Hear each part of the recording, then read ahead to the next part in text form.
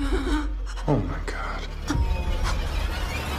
Hey everyone, today we're featuring the new 2024 horror thriller, The Inheritance. Let's see if this twisty family drama is worth your time. This film follows the wealthy Abernathy family. Charles Abernathy, the 75 year old patriarch, invites his family for a birthday celebration at their grand mansion. Despite the usual family tensions, everyone shows up. But there's a twist Charles has something else planned for them. He reveals that someone or something is going to kill him that night. If anything happens to him, his entire estate will be donated. If you're thinking this sounds like Knives Out, Hold on. The writers Chris Lamont and Joe Russo have other plans for you. Expect a mix of Ready or Not and The Fall of the House of Usher with a bit of The Haunting of Hill House. The story introduces us to the potential victims and suspects. We have Drew, played by Austin Stowell, who distanced himself from the family. Then, there are the twins, Madeline and CJ, portrayed by Rachel Nichols and David Walton, who are obsessed with money. The youngest sibling, Cami, played by Peyton List, is more interested in social media. Drew's wife, Hannah, played by Briana Middleton, is the outsider and serves as our point of view. The movie sets up a familiar scene, family drama, betrayal, and secrets.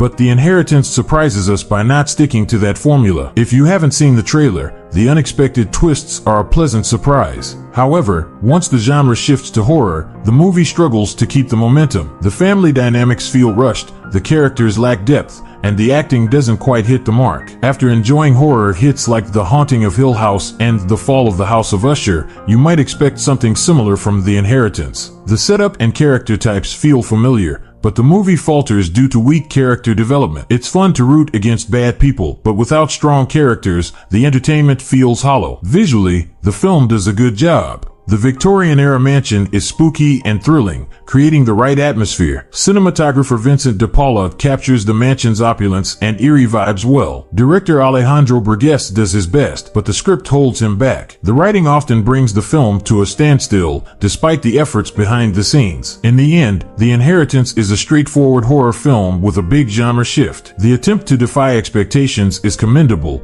but the execution falls short. The script needed more work to flesh out the characters. Briana Middleton and Peyton List managed to stand out, but the rest of the cast struggles with their roles. The movie has some good moments, but the lack of strong character development and inconsistent momentum hold it back. So, if you're looking for a horror movie with a twist, The Inheritance might be worth a watch. Just don't expect it to reach the heights of its inspirations. The effort is there, and maybe that will be enough for some viewers. That's it for our review of The Inheritance. If you enjoyed this video, please give it a thumbs up and don't forget to subscribe for more movie reviews. Share your thoughts on the film in the comments below. Thanks for watching and see you next time.